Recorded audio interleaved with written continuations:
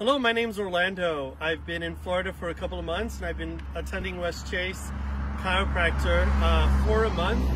I first came here because of my massive migraine headaches and uh, believe it or not, after the first session, my migraines has dispersed. Um, I give a lot of credit to the doctors here. They educated you, uh, me, and uh, pretty much helped me in relieving my pain. So I, believe it or not, I have not received any any awkward pains. I, I feel better, and I'm continuing my treatments, and it's a, a great. I highly recommend um, my friends and family to attend.